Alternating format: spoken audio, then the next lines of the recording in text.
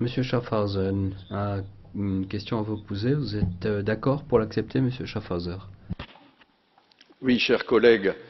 Pourquoi le gouvernement grec ne demande-t-il pas, ne demande-t-il pas que la Banque centrale euh, émette de la monnaie pour investir dans les économies d'énergie et les énergies nouvelles dans l'économie grecque?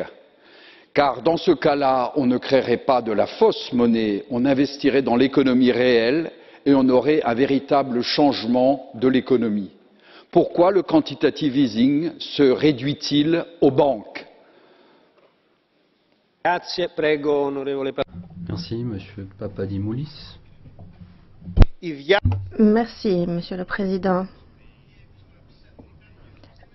L'effondrement de la zone euro et le retour euh, aux monnaies nationales, euh, eh bien, c'est le programme de Marine Le Pen, ce n'était pas le programme de Monsieur Tsipras.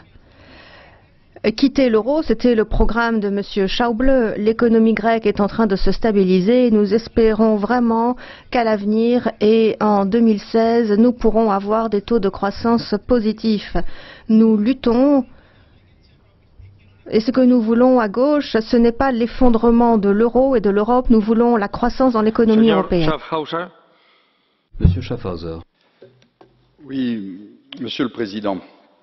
En 2012, avec euh, François Drouin, le secrétaire général de l'Élysée, Monsieur Bassanini, avec le soutien de Monsieur Monti, on lançait un groupe de travail avec les banques de développement pour qu'il y ait un quantitative easing économie réelle.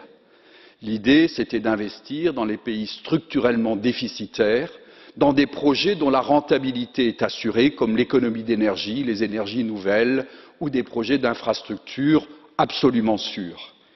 Ce projet n'a pas vu le jour pour différentes raisons.